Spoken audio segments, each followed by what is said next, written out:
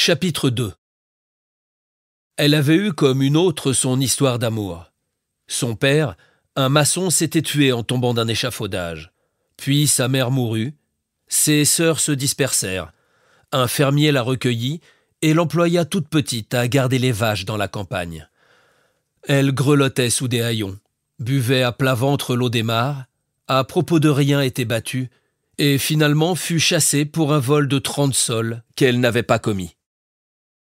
Elle entra dans une autre ferme, y devint fille de basse-cour, et comme elle plaisait au patron, ses camarades la jalousaient. Un soir du mois d'août, elle avait alors dix-huit ans, ils l'entraînèrent à l'assemblée de Colville. Tout de suite, elle fut étourdie, stupéfaite par le tapage des ménétriers, les lumières dans les arbres, la bigarrure des costumes, les dentelles, les croix d'or, cette masse de monde sautant à la fois. Elle se tenait à l'écart modestement, quand un jeune homme d'apparence cossue, et qui fumait sa pipe les deux coudes sur le timon d'un banneau, vint l'inviter à la danse. Il lui paya du cidre, du café, de la galette, un foulard, et, s'imaginant qu'elle le devinait, offrit de la reconduire. Au bord d'un champ d'avoine, il la renversa brutalement. Elle eut peur et se mit à crier. Il s'éloigna. Un autre soir, sur la route de Beaumont, elle voulut dépasser un grand chariot de foin qui avançait lentement, et en frôlant les roues, elle reconnut Théodore. Il l'aborda d'un air tranquille, disant qu'il fallait tout pardonner puisque c'était la faute de la boisson. Elle ne sut que répondre et avait envie de s'enfuir. Aussitôt, il parla des récoltes et des notables de la commune, car son père avait abandonné Colville pour la ferme des Échos, de sorte que maintenant il se trouvait voisin. Ah, dit-elle. Il ajouta qu'on désirait l'établir. Du reste, il n'était pas pressé et attendait une femme à son goût. Elle baissa la tête. Alors, il lui demanda si elle pensait au mariage. Elle reprit en souriant que c'était mal de se moquer. Mais non, je vous jure. Et du bras gauche, il lui entoura la taille. Elle marchait, soutenue par son étreinte. Ils se ralentirent. Le vent était mou, les étoiles brillaient, l'énorme charretée de foin oscillait devant eux, et les quatre chevaux, en traînant leurs pas, soulevaient de la poussière. Puis, sans commandement, ils tournèrent à droite. Il l'embrassa encore une fois. Elle disparut dans l'ombre. Théodore, la semaine suivante, en obtint des rendez-vous. Ils se rencontraient au fond des cours, derrière un mur, sous un arbre isolé. Elle n'était pas innocente à la manière des demoiselles. Les animaux l'avaient instruite. Mais la raison de l'instinct, de l'honneur l'empêchait de faillir. Cette résistance exaspéra l'amour de Théodore, si bien que pour le satisfaire, ou naïvement peut-être, il proposa de l'épouser. Elle hésitait à le croire. Il fit de grands serments. Bientôt, il avoua quelque chose de fâcheux. Ses parents, l'année dernière, lui avaient acheté un homme. Mais d'un jour à l'autre, on pourrait le reprendre. L'idée de servir l'effrayait. Cette couardise fut pour Félicité une preuve de tendresse. La sienne en redoubla. Elle s'échappait la nuit, et parvenue au rendez-vous, Théodore la torturait avec ses inquiétudes et ses instances. Enfin, il annonça qu'il irait lui-même à la préfecture prendre des informations, et les apporterait dimanche prochain entre onze heures et minuit. Le moment arrivé, elle courut vers l'amoureux. À sa place, elle trouva un de ses amis. Il lui apprit qu'elle ne devait plus le revoir. Pour se garantir de la conscription, Théodore avait épousé une vieille femme très riche, Madame Lehousset de Touques ce fut un chagrin désordonné. Elle se jeta par terre, poussa des cris, appela le bon Dieu, et gémit toute seule dans la campagne jusqu'au soleil levant. Puis elle revint à la ferme, déclara son intention d'en partir, et au bout du mois, ayant reçu ses comptes, elle enferma tout son petit bagage dans un mouchoir et se rendit à Pont-l'Évêque. Devant l'auberge, elle questionna une bourgeoise en capeline de veuve et qui précisément cherchait une cuisinière.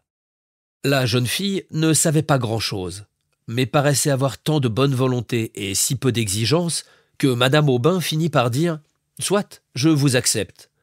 Félicité, un quart d'heure après, était installée chez elle. D'abord, elle y vécut une sorte de tremblement que lui causait le genre de la maison et le souvenir de monsieur, planant sur tout Paul et Virginie, l'un âgé de sept ans, l'autre de quatre à peine, lui semblait formé d'une matière précieuse. Elle les portait sur son dos comme un cheval, et madame Aubin lui défendit de les baiser à chaque minute, ce qui la mortifia. Cependant, elle se trouvait heureuse. La douceur du milieu avait fondu sa tristesse. Tous les jeudis, des habitués venaient faire une partie de Boston. Félicité préparait d'avance les cartes et les chaufferettes. Ils arrivaient à huit heures bien justes et se retiraient avant le coup de onze. Chaque lundi matin, le brocanteur qui logeait sous l'allée étala par terre ses ferrailles. Puis la ville se remplissait d'un bourdonnement de voix où se mêlaient des hennissements de chevaux, des bêlements d'agneaux, des grognements de cochons, avec le bruit sec des carrioles dans la rue. Vers midi, au plus fort du marché, on voyait paraître sur le seuil un vieux paysan de haute taille, la casquette en amère, le nez crochu, et qui était Robelin, le fermier de Géfos. Peu de temps après, c'était Liébar, le fermier de Touques, petit, rouge, obèse, portant une veste grise et des housseaux armés d'éperons. Tous deux offraient à leurs propriétaires des poules ou des fromages. Félicité, invariablement, déjouait leurs astuces et ils s'en allaient plein de considération pour elle. À des époques indéterminées, Madame Aubin recevait la visite du marquis de Gremanville, un de ses oncles ruiné par la crapule et qui vivait à Falaise sur le dernier lopin de ses terres. Il se présentait toujours à l'heure du déjeuner, avec un affreux caniche dont les pattes salissaient tous les meubles. Malgré ses efforts pour paraître gentilhomme, jusqu'à soulever son chapeau chaque fois qu'il disait Feu mon père, l'habitude l'entraînant, il se versait à boire coup sur coup et lâchait des gaillardises. Félicité le poussait dehors poliment. Vous en avez assez, monsieur de Grémanville, à une autre fois. Et elle refermait la porte. Elle l'ouvrait avec plaisir devant monsieur Bourret, ancien avoué.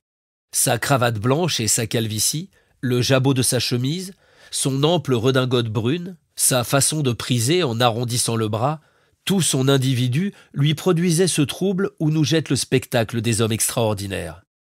Comme il gérait les propriétés de madame, il s'enfermait avec elle pendant des heures dans le cabinet de monsieur, et craignait toujours de se compromettre, respectait infiniment la magistrature, avait des prétentions au latin.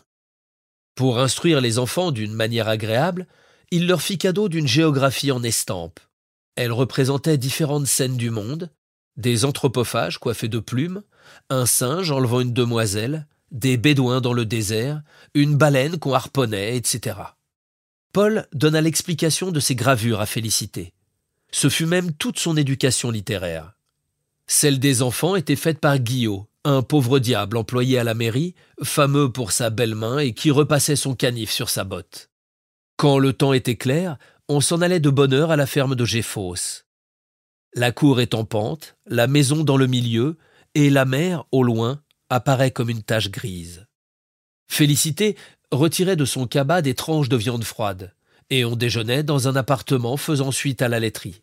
Il était le seul reste d'une habitation de plaisance maintenant disparue. Le papier de la muraille en lambeaux tremblait au courant d'air. Madame Aubin penchait son front, accablée de souvenirs. Les enfants n'osaient plus parler. Mais jouez donc, disait-elle. Ils décampaient. Paul montait dans la grange, attrapait des oiseaux, faisait des ricochets sur la mare ou tapait avec un bâton les grosses futailles qui résonnaient comme des tambours. Virginie donnait à manger aux lapins, se précipitait pour cueillir des bleuets, et la rapidité de ses jambes découvrait ses petits pantalons brodés. Un soir d'automne, on s'en retourna par les herbages. La lune, à son premier quartier, éclairait une partie du ciel, et un brouillard flottait comme une écharpe sous les sinuosités de la touque. Des bœufs, étendus au milieu du gazon, regardaient tranquillement ces quatre personnes passer. Dans la troisième pâture, quelques-uns se levèrent, puis se mirent en rond devant elle. Ne craignez rien, dit Félicité. Et murmurant une sorte de complainte, elle flatta sur l'échine celui qui se trouvait le plus près. Il fit volte-face, les autres l'imitèrent. Mais quand l'herbage suivant fut traversé, un beuglement formidable s'éleva. C'était un taureau que cachait le brouillard. Il avança vers les deux femmes. Madame Aubin alla courir. Non, non, moins vite. Elle pressait le pas cependant et entendait par derrière un souffle sonore qui se rapprochait. Ses sabots, comme des marteaux, battaient l'herbe de la prairie. Voilà qu'il galopait maintenant. Félicité se retourna, et elle arrachait à deux mains des plaques de terre qu'elle lui jetait dans les yeux. Il baissa le mufle, secouait les cornes et tremblait de fureur en beuglant horriblement. Madame Aubin, au bout de l'herbage avec ses deux petits, cherchait éperdue comment franchir le haut bord.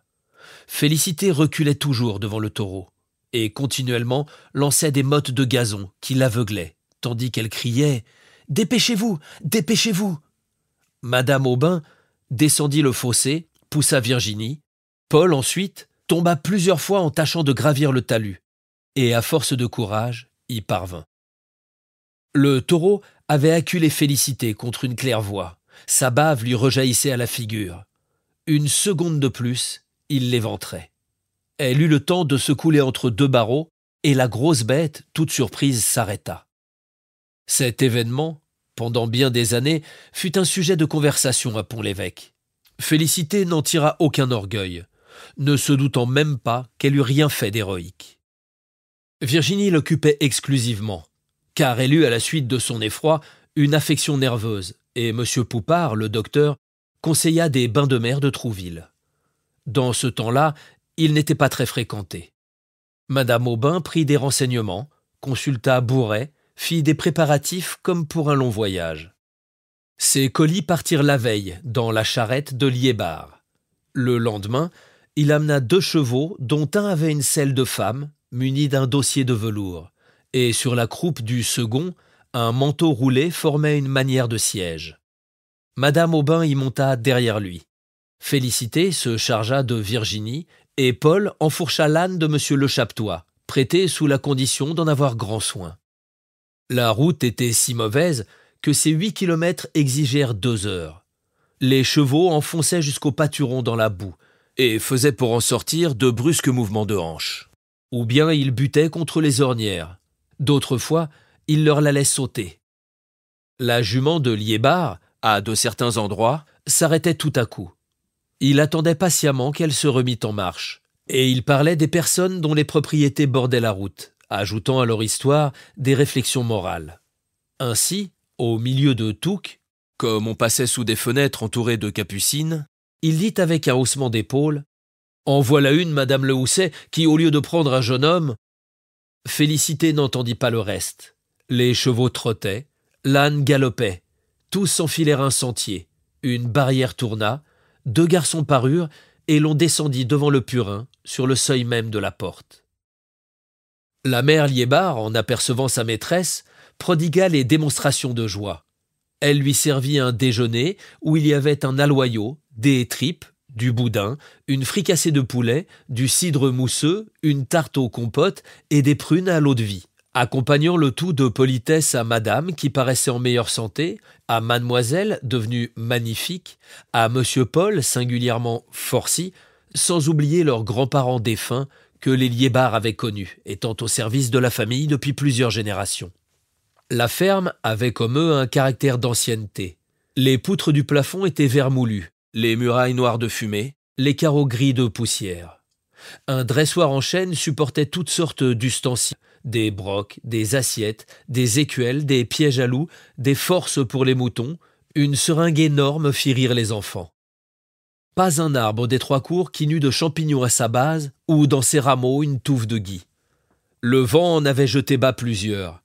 Ils avaient repris par le milieu, et tous fléchissaient sous la quantité de leurs pommes. Les toits de paille, pareils à du velours brun et inégaux d'épaisseur, résistaient aux plus fortes bourrasques. Cependant, la charretterie tombait en ruine. Madame Aubin dit qu'elle aviserait et commanda de réharnacher les bêtes. On fut encore une demi-heure avant d'atteindre Trouville. La petite caravane mit pied à terre pour passer les écors. C'était une falaise surplombant des bateaux.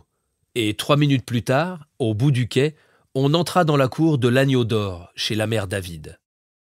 Virginie, dès les premiers jours, se sentit moins faible, résultat du changement d'air et de l'action des bains.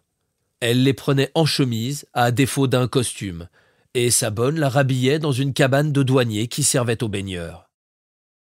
L'après-midi, on s'en allait avec l'âne au-delà des Roches Noires, du côté d'Enqueville. Le sentier, d'abord, montait entre les terres vallonnées comme la pelouse d'un parc, puis arrivait sur un plateau où alternaient des pâturages et des champs en labour. À la lisière du chemin, dans le fouillis des ronces, des houes se dressaient. Ça et là, un grand arbre mort faisait sur l'air bleu des zigzags avec ses branches. Presque toujours, on se reposait dans un pré, ayant Deauville à gauche, le Havre à droite, et en face la pleine mer.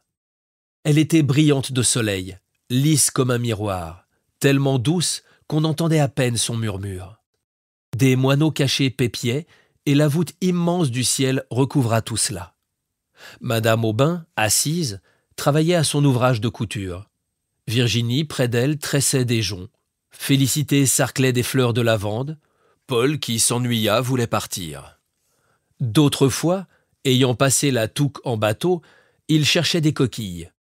La marée basse laissa à découvert des oursins, des godfiches, des méduses, et les enfants couraient pour saisir des flocons d'écume que le vent emportait. Les flots endormis, en tombant sur le sable, se déroulaient le long de la grève. Elle s'étendait à perte de vue, mais du côté de la terre avait pour limite des dunes la séparant du marais, large prairie en forme d'hippodrome. Quand il revenait par là, Trouville, au fond sur la pente du coteau, à chaque pas grandissait, et avec toutes ses maisons inégales, semblait s'épanouir dans un désordre gai. Les jours qu'il faisait trop chaud, ils ne sortaient pas de leur chambre. L'éblouissante clarté du dehors plaquait des barres de lumière entre les lames des jalousies. Aucun bruit dans le village. En bas, sur le trottoir, personne. Ce silence épandu augmentait la tranquillité des choses. Au loin, les marteaux des calfas tamponnaient des carènes, et une brise lourde apportait la senteur du goudron. Le principal divertissement était le retour des barques. Dès qu'elles avaient dépassé les balises, elles commençaient à louvoyer. Leurs voiles descendaient aux deux tiers des mâts, et la misaine gonflée comme un ballon, elles avançaient, glissaient dans le clapotement des vagues jusqu'au milieu du port, où l'ancre tout à coup tombait. Ensuite, le bateau se plaçait contre le quai. Les matelots jetaient par-dessus le bordage des poissons palpitants. Une fille de charrette les attendait, et des femmes en bonnet de coton s'élançaient pour prendre les corbeilles et embrasser leurs hommes. Une d'elles, un jour, aborda Félicité, qui peu de temps après entra dans la chambre toute joyeuse. Elle avait retrouvé une sœur. Et Nastasie Barrette, femme Leroux, apparut tenant un nourrisson à sa poitrine. De la main droite un autre enfant, et à sa gauche un petit mousse, les poings sur les hanches et le béret sur l'oreille. Au bout d'un quart d'heure, Madame Aubin les congédia. On les rencontrait toujours aux abords de la cuisine ou dans les promenades que l'on faisait. Le mari ne se montrait pas. Félicité se prit d'affection pour eux. Elle leur acheta une couverture, des chemises, un fourneau. Évidemment, il l'exploitait. Cette faiblesse agaçait Madame Aubin, qui d'ailleurs n'aimait pas les familiarités du neveu car il tutoyait son fils. Et comme Virginie toussait et que la saison n'était plus bonne, elle revint à Pont-l'Évêque. Monsieur Bourrel éclaira sur le choix d'un collège. Celui de Caen passait pour le meilleur. Paul y fut envoyé et fit bravement ses adieux, satisfait d'aller vivre dans une maison où il aurait des camarades. Madame Aubin se résigna à l'éloignement de son fils, parce qu'il était indispensable. Virginie y songea de moins en moins. Félicité regrettait son tapage. Mais une occupation vint la distraire. À partir de Noël, elle mena tous les jours la petite fille au catéchisme.